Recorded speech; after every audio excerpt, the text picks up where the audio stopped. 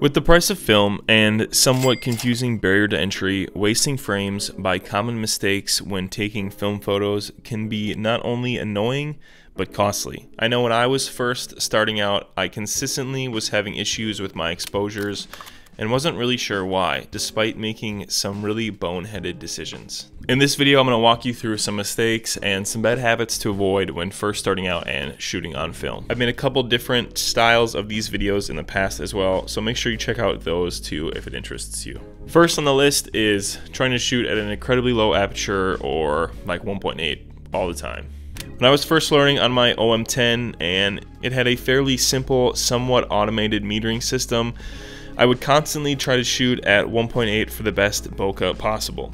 I totally was not even thinking about how aperture directly was influencing my exposure and making every photo incredibly overexposed and just downright unusable. Learning the Sunny 16 rule can become a lifesaver when you're shooting out in the middle of the day in broad daylight.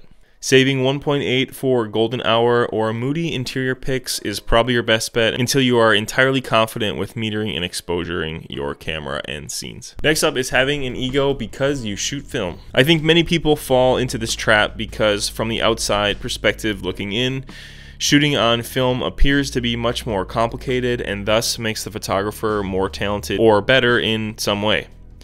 However, this couldn't be further from the truth. The amount of shit photos I took when first learning on film is incredibly high. Film grain does not make any boring image interesting. It has to be innately interesting at first, and the physical and nostalgic properties and aesthetic elements can enhance it, but you can't take an uninteresting scene and make it good by putting it on film. I wish that's how it worked, but sadly, it doesn't. In fact, I think it's easier to get a good photo on digital, whereas on film, you must fully understand your camera, the film stock, and lighting to consistently be getting good images. What I'm trying to say is your quote hit rate on digital is probably significantly higher than on film, despite many people thinking film being just better.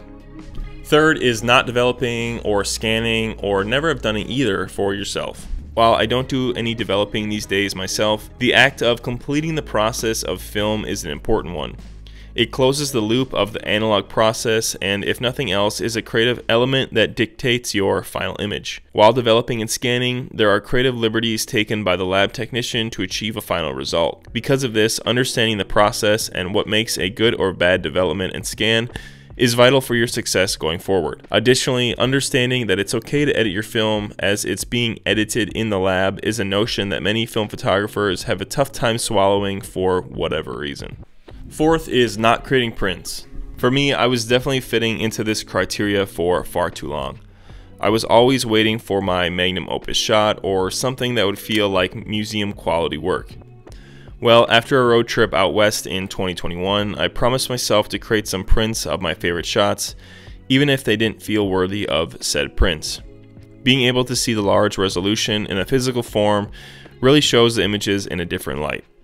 Yes, you can look at them all day long on a computer screen, but seeing them in full glory on a print or even framed up really makes the photos feel alive and brings a sense of accomplishment to you. It's empowering to see your photos on walls and motivates me to strive to improve and capture more photos with the idea of printing in mind. And last up is not shooting enough because you're afraid of failure or errors or just the cost of film in general. I know with the current price of film especially, it can feel super daunting to make the most out of every roll and image. I know the feeling of not wanting to bring your camera or take a walk to shoot because there may not be anything that is super interesting. By being afraid or never bringing your camera along, though, I think you're closing many doors to photographs that would otherwise never present themselves to you.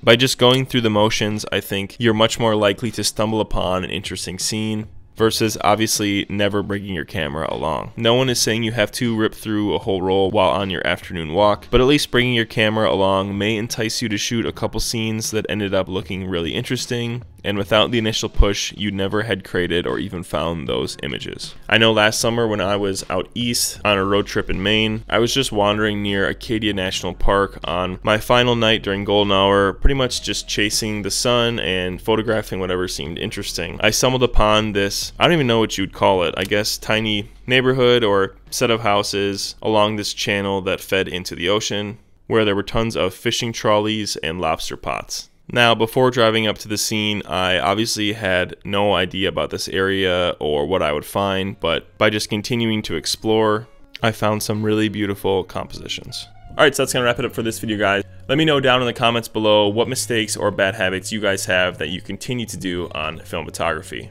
I know for myself, I could certainly be making more prints, kind of getting the whole full circle process of shooting film and getting that final physical form. I know every time that I make prints, either for myself or for my family for gifts or whatever, I'm always super impressed by the final product and honestly just proud that I was able to capture those photos. Otherwise, I want to thank you guys so much for watching. I upload weekly, 10 a.m. Central Standard Time, so make sure to stay tuned, stay safe, and stay shooting. Otherwise, until the next video, adios, and peace out, guys.